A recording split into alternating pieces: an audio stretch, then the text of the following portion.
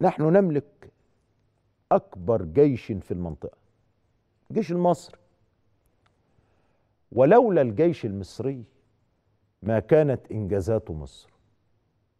حقيقة الجيش المصري تعرض لنكسات وهذه النكسات كانت نكسات مصر أيضا. وأقام انتصارات هي انتصارات مصر أيضا.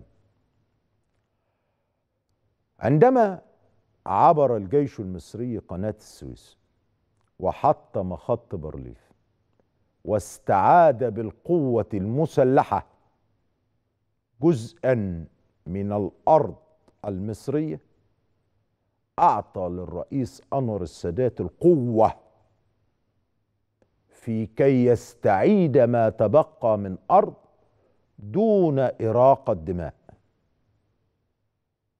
النهارده الذكرى الواحد وأربعين لمعاهدة السلام. نشوف مع بعض. هذا الرجل أعظم قائد عربي في القرن العشرين وهو يقف مجلجلا في مقر الكنيسة الإسرائيلي